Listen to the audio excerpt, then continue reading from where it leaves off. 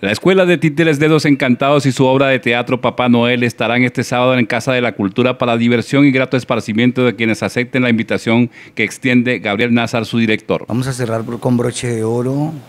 Acuérdese que en octubre estuvimos con La Bruja Maruja. Son obras que solamente se presentan para estos meses. En noviembre hemos estado con el Chimpiti Chámpata y ahora interrumpimos el Chimpiti Chámpata para poner en escena a Papá Noel van a poder ver eh, la fantasía que eh, significa la historia de Papá Noel. Dos son las funciones que se tienen programadas en mañana y tarde este sábado con su obra Papá Noel, un personaje universal. Papá Noel es eterno, yo no, no, no, sé quién sea realmente el, el, de dónde venga la historia, pero así como Pinocho, que son de eh, adquisición universal, de los encantados durante el presente semestre ha llevado alegría a quienes han asistido a sus funciones en Casas de la Cultura. El que no vaya no va a tener regalos, pero si va, seguro que va a tener muchos regalos para que vean la historia de Papá Noel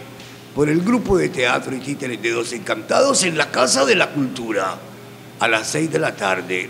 Papá Noel. ¡Oh,